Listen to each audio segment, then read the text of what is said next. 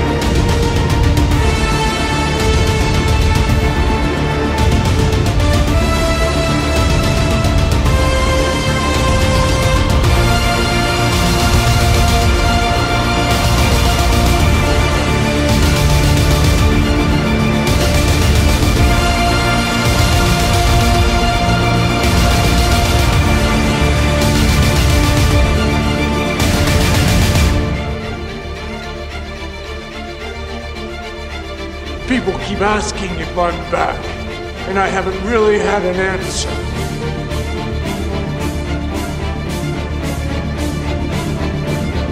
But now, yeah, I'm thinking I'm back.